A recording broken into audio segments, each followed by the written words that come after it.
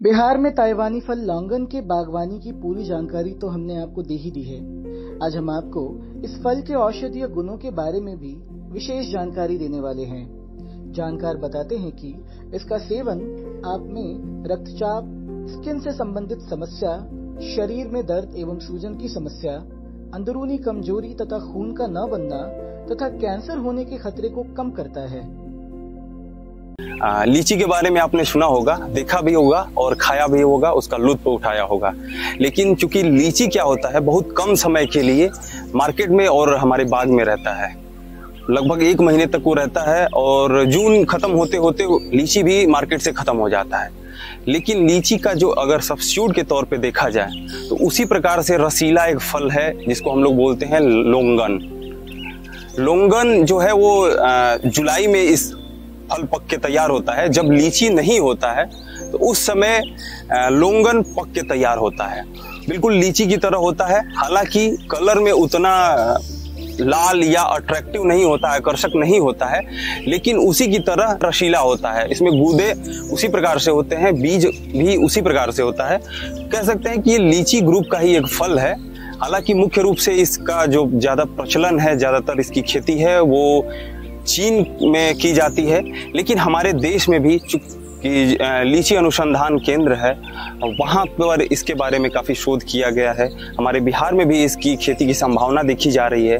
इसी के को देखते हुए हमने कृषि विज्ञान केंद्र माधोपुर पश्चिम चंपारण में भी इसका पौधा लगाया हुआ है।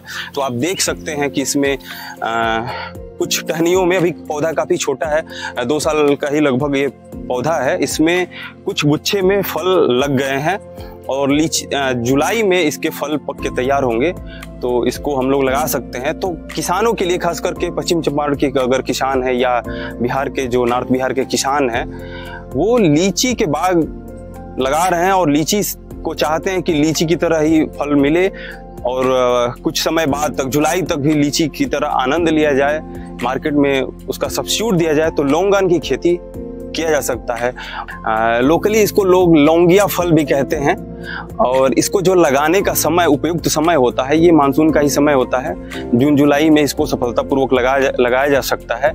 आ, इसका जो पौधा है लीची अनुसंधान केंद्र मुशहरी मुजफ्फरपुर से प्राप्त करके इसको लगाया जा सकता है। हालाँकि हम लोग भी इसको मदर प्लांट के रूप में लगाए हैं और इसको मदर प्लांट के बाद प्रयास हम लोग का भी रहेगा कि इसका पौधा यहीं पर कृषि विज्ञान केंद्र माधोपुर में तैयार किया जाए किया जाए ताकि किसानों को इसका पौधा उपलब्ध कराया जा सके।